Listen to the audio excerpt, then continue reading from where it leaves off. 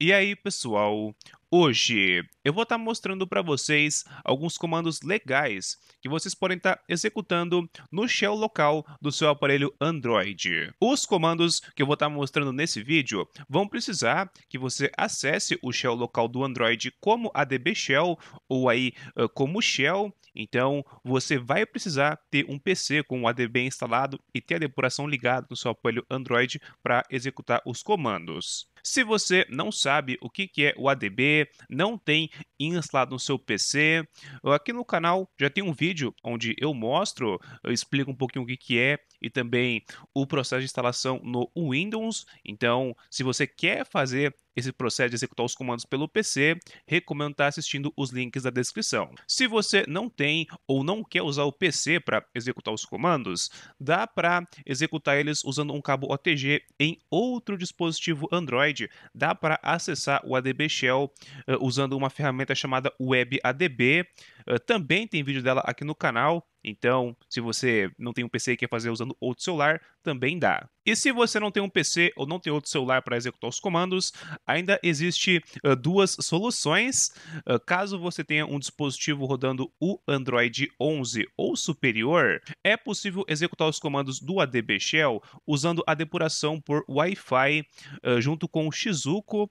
Aqui no canal tem um vídeo sobre recomendações de aplicativos ADB e lá eu mostro como que usa o Para executar comandos como shell local. Então, outro vídeo. E é claro, se você tem root no seu dispositivo, não precisa se preocupar com ADB, você consegue acessar o shell local do seu dispositivo baixando qualquer aplicativo de terminal e dentro desse aplicativo é só digitar o comando su e aí esses comandos já vão estar sendo executados como root, então vai dar para executar os comandos que eu vou estar mostrando nesse vídeo. Então, sem mais enrolações, vamos começar a escrever os comandozinhos. service. Beleza, vamos começar. Eu já estou com o shell local do meu dispositivo uh, configurado certinho, eu estou usando aqui no PC, mas independente da onde você acessar esse shell local, uh, para estar tá executando os comandos que eu vou mostrar para vocês, é necessário estar rodando como uh, ADB Shell ou como Shell. Se você não sabe como que vê isso, é só digitar o comando ruami, que ele mostra para vocês. Então aqui eu estou rodando como Shell, então eu vou conseguir executar os comandos que eu vou estar tá mostrando para vocês nesse vídeo. Então, vamos para o primeiro comando dessa lista, que é o pm disable-user. Esse comando permite desabilitar aplicativos de um usuário. A gente tem que especificar qual usuário que a gente vai estar desabilitando. O usuário que você usa por padrão no Android, se você não configurou nenhum perfil de trabalho ou algum outro perfil a mais, normalmente é o user zero, então a gente tem que especificar isso. É só digitar menos menos user zero. E agora a gente tem que digitar o pacote do aplicativo que a gente quer desabilitar. Para estar descobrindo o pacote, existem diversas formas. Você pode até executar um comando, que é esse comando pm list packages. Ele vai listar para vocês todos os pacotes que estão, os pacotes dos aplicativos que estão instalados no seu dispositivo. E se você conseguir achar o aplicativo que você quer desabilitar por aqui, beleza. Mas caso você não queira ficar procurando aqui um monte de pacote, tem alguns aplicativos que facilitam a gente a descobrir o pacote de um app, como o App Manager. Aqui é só pegar um aplicativo, vou pegar, sei lá, o aplicativo de calculadora. Não, a calculadora já até marcou. E o pacote da calculadora é esse com.android.calculator2. Então vamos só o comando desabilitar, então pm disable menos user menos menos user 0 e o nome do pacote com.android.calculator2 e Enter. Prontinho, aparece que o novo estado do aplicativo é desabilitado. Até o App Manager mostrou para a gente que ele está desabilitado. E se a gente abrir os aplicativos, o aplicativo de calculadora não aparece mais. E para você habilitar o aplicativo, é só digitar pm enable, não precisa especificar nada de usuário, só colocar pm enable e o nome do pacote. Então com.android.calculator2 e enter. E o aplicativo já voltou a aparecer aqui, ó calculadora. A gente pode desligar se a gente quiser e ligar sem problemas. E tá desabilitando aplicativos é bastante legal, principalmente em ROMs de fabricante, que vem algum jogo ou outro, algum aplicativo ou outro que você não usa. Usando esse comando é possível desabilitar esses aplicativos para o seu usuário. Então, quando você está usando o seu dispositivo uh, no seu usuário uh, padrão, esse aplicativo não vai poder puxar recursos do seu dispositivo. Aliás, aqui no canal já tem um vídeo onde eu mostro como tá desbloqueando o seu dispositivo usando o App Manager. É um aplicativo bem fácil de estar tá desbloqueando o seu dispositivo, então recomendo que vocês assistam.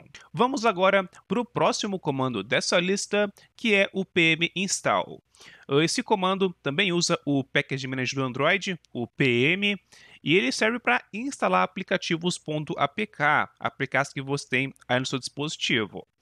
Eu vou abrir o explorador de arquivos, aqui o Mix Explorer, e eu tenho um aplicativo, eu tenho aqui o acc.apk, um aplicativo de trocar as coisas de destaque, eu já mostrei ele também aqui no canal, e vamos instalar ele usando a linha de comando. Então, como esse aplicativo está na nossa memória interna, eu vou abrir a memória interna pelo terminal, então é só digitar cd barra sdcard. A memória interna no Android, ela é esse caminho mesmo, é barra sdcard. Vou digitar ls e vocês podem ver que está os arquivos, inclusive o aplicativo do ACC está mostrando aqui então certinho. Dependendo da versão do Android do seu dispositivo, você consegue executar o comando pm install e o caminho do aplicativo, então aqui seria acc.apk. Em alguns Androids esse comando funciona, mas aqui no meu, em versões mais recentes do Android, esse comando não pega, a gente tem que usar ele junto com o cat para poder funcionar. É meio que uma limitação aí do Android, mas uh, não tem nenhum problema. Então, vamos digitar o comando ls-la para mostrar todos os arquivos de forma mais detalhada. Aqui a gente vai estar tá copiando o tamanho do aplicativo, então é só você copiar esse valor, esse 43.3, dependendo do aplicativo que você for instalar, vai ter outro valor. É só copiar e agora digita cat escreva o nome do aplicativo, então acc.apk, coloca um pipezinho aqui e depois é só digitar pm install espaço menos s e é só especificar o tamanho do aplicativo. Então vou colar o que eu tinha copiado antes e apertar enter e já era. A gente conseguiu instalar o aplicativo usando a linha de comando. Vou abrir meu launch, abrir os aplicativos e o aplicativo do ACC acabou de aparecer. Para estar tá desinstalando é quase a mesma coisa, é só digitar pm uninstall e depois o pacote do aplicativo. Então vou abrir o App Manager e procurar o nome do pacote do ACC. ACC. O pacote do ACC é esse app.aquileste.qacc. Então, simplesmente pm uninstall app.aquileste.qacc e aplicativo desinstalado super fácil. Já vimos que manipular aplicativos pela linha de comando não é difícil, na verdade é até fácil. Agora vamos para alguns comandos do Window Manager do Android. E o primeiro vai ser o WM Density. Esse comando permite alterar o DPI do seu dispositivo. Eu vou ditar ele sem nenhum parâmetro, só WM Density, e ele vai mostrar algumas informações uh, do meu dispositivo. Então, o DPI físico do meu aparelho, o DPI padrão do meu dispositivo é 440, mas eu estou usando 400, então que ele especifica tudinho.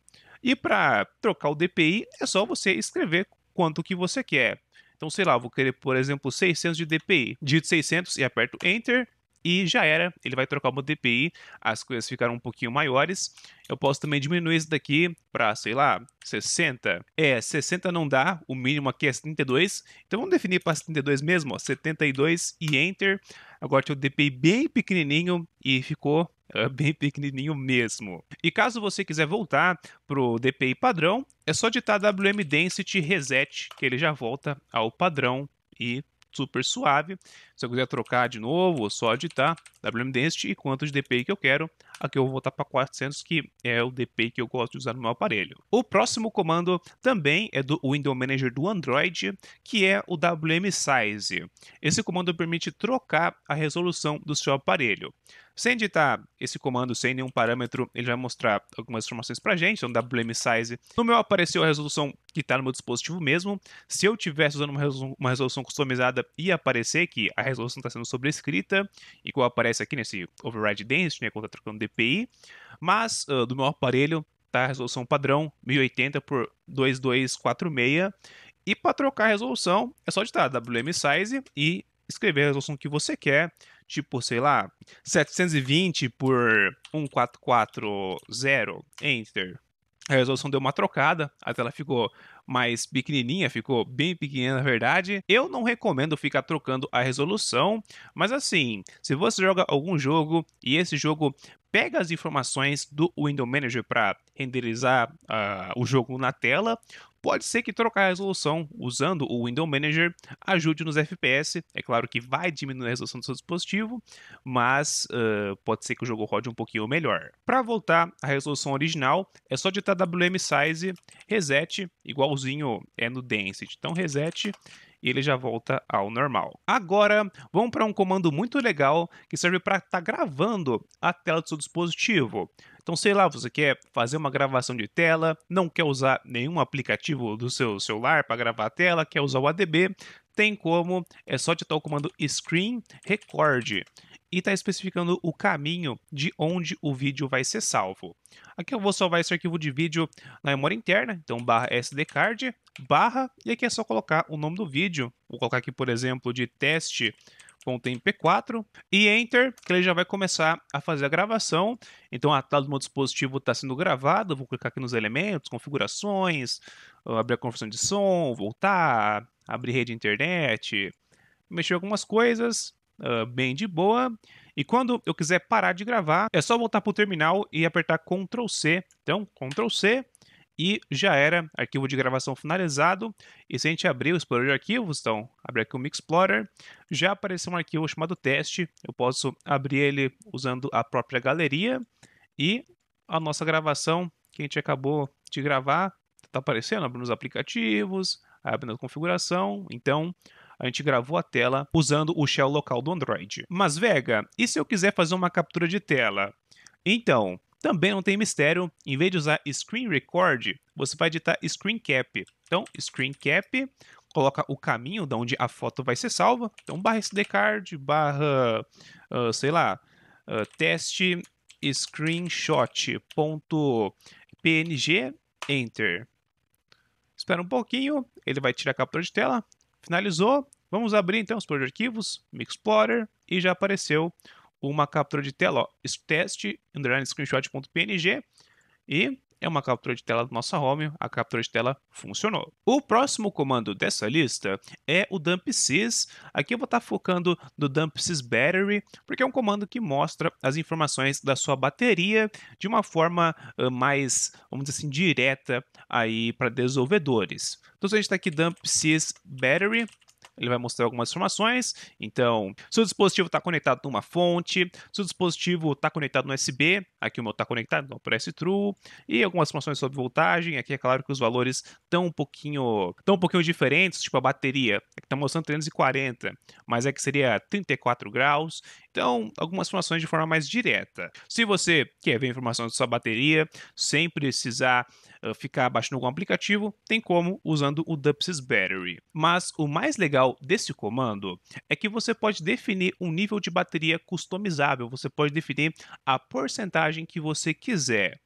É óbvio que isso aqui não vai estar aumentando a porcentagem da sua bateria uh, de verdade, porque nem tem como, mas é um comando bastante usado para desenvolvedores que fazem aplicativos que mexem com a bateria. Então você consegue definir, sei lá, uh, 5% de bateria, 10% ou até 1 milhão por cento. Então, eu vou mostrar esse comando, mas assim, pessoal, se você usa uma ROM de fabricante, tipo, sei lá, uma MIUI, uma interface da Samsung, Sendo bem sincero, eu não testei esse comando em outros dispositivos, então eu não sei se esse comando pode acabar zoando a interface do seu aparelho. É bem provável que não vai zoar nada e se zoar é só reinicializar que daí volta tudo normal, mas assim, não é um comando que eu testei em outros dispositivos, eu só testei aqui no meu aparelho que roda o Android padrão. Então, dependendo da interface, talvez crash alguma coisa na interface. Belezinha, então o comando é esse daqui, ó, é dumpsys battery set level e é só colocar a porcentagem que você quiser. Vou descer a barrinha, opa, descer a barrinha aqui em cima, eu estou com 89% de bateria, vamos falar que eu estou, sei lá, com 6%, e já trocou ali em cima, estou com 6%. Então, vamos trocar de novo, mas eu estou com 60% de bateria. Top, também trocou. Agora imaginamos que eu estou com 600% de bateria. Por que não? Enter. e já era. Ele definiu ali em cima. Vou até abrir as configurações, abrir a parte de bateria, ele mostra realmente 600%. Posso colocar valores absurdos, tipo, sei lá, 500 mil por cento de bateria? Posso, aparece ali 500 mil por cento. Então, dá pra você colocar valores aí absurdos. É óbvio que isso daqui é só pra brincar mesmo. Mas, de qualquer jeito, você pode definir um nível customizado de bateria para uh, mostrar para seus amigos, zoar eles, falar que você tem bateria infinita ou alguma coisa desse tipo. Se você quiser voltar a bateria ao normal sem reiniciar o seu dispositivo, é só digitar o comando dump sys battery e reset. Aperta Enter e está pronto, já voltou a porcentagem original da minha bateria, então olha, 89%, certinho. O próximo comando é o reboot. E com esse comando, você pode reinicializar o seu dispositivo. Porém, se você colocar argumentos nesse reboot, é possível uh, customizar como o seu dispositivo vai estar reinicializando. Por exemplo, se eu digitar somente reboot, o dispositivo vai reiniciar normal, um reiniciamento comum. Uh, se eu quiser inicializar no modo recovery, eu posso digitar reboot recovery e ele vai subir o meu dispositivo no modo recovery. Se eu quiser inicializar o meu dispositivo no modo do bootloader, em alguns dispositivos é o fast boot, em alguns é outra coisa, eu posso digitar simplesmente reboot bootloader. E vamos ver se esse comando funciona. Vou apertar enter, o dispositivo acabou de reinicializar, vocês estão vendo agora a câmera aí, e vamos ver ele inicializando. Como deu para vocês verem, o dispositivo subiu no modo fast boot, porque a gente marcou para reinicializar no bootloader. E para estar tá finalizando, o último comando dessa lista é para estar tá vendo quantas vezes o seu dispositivo Android foi inicializado. E é só digitar settings get global e tá digitando boot underline count. Aperta Enter, ele vai mostrar para vocês quantas vezes o seu dispositivo foi inicializado. O meu apareceu 38. Vou reiniciar o meu dispositivo mais uma vez e vamos ver se esse número aumenta. Então, reboot, não vou digitar nenhum parâmetro, vai ser uma reinicialização normal. Então, reboot. Dispositivo inicializado, vou executar o comando mais uma vez. Então, adb shell e executar aqui os settings get global boot count. Enter e agora ele mostrou 39, então meu dispositivo foi inicializado 39 vezes. Aliás, como eu sei que muita gente aqui do canal curte usar ROM customizada, esse comando ele só mostra as informações de boot da sua ROM atual. Caso você troque de ROM, esse número é resetado beleza? Então, na ROM atual do meu dispositivo, eu fiz a inicialização uh, do sistema 39 vezes. Se eu trocar de ROM, esse número vai ser resetado. E aproveitando, coloque nos comentários o resultado de vocês. Aqui uh, na ROM atual do dispositivo, eu iniciei o meu aparelho 39 vezes e o apoio de vocês. E pessoal, esses foram alguns comandos que eu achei interessante de estar tá mostrando nesse vídeo. Uh, existem diversos outros, mas acho que o vídeo vai ficar muito longo, então eu acabei pegando só alguns legaisinhos. Se vocês quiserem, uh, dá para transformar esse tipo de vídeo meio que numa série, uh, comandos do Android, alguma coisa assim. Então, coloque nos comentários se vocês conhecem algum outro comando legal, talvez uh, a sua recomendação apareça no próximo vídeo. E além disso, coloquem nos comentários o que, que vocês acharam dos comandos que foram mostrados nesse vídeo. E é isso, deixa o like, se inscreve no canal e bye bye,